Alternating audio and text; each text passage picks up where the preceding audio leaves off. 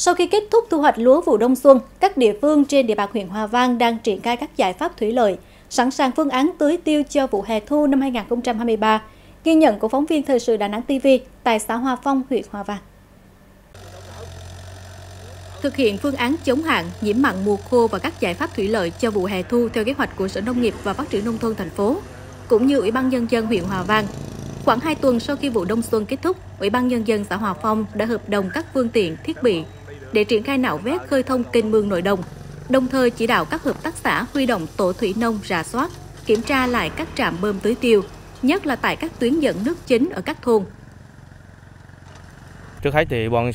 xã xây dựng kế hoạch và chỉ đạo cho hợp tác xã cũng như là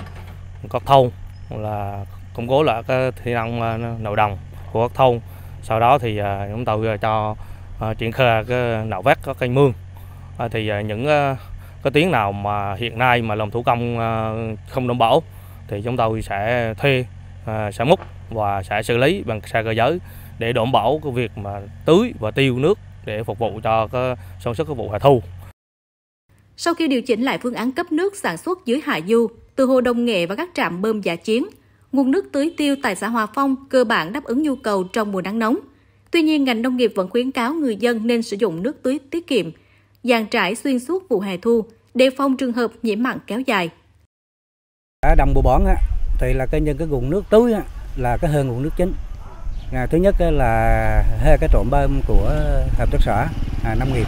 Mộc Hòa Phong à, tưới cho cái à, à hai cái cánh đồng dưới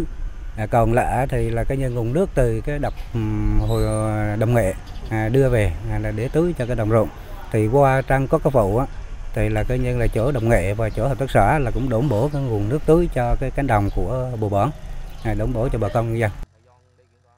Thực tế do khoảng thời gian nghỉ giữa hai vụ đông xuân và hè thu năm nay ngắn hơn nhiều so với các năm trước, nên việc triển khai phương án thủy lợi cũng gặp nhiều khó khăn, nhất là khi nhiều cánh đồng vẫn chưa xử lý đất xong. Một số thôn cũng phải giãn thời gian xả giữa các trà lúa để đảm bảo năng suất cuối vụ.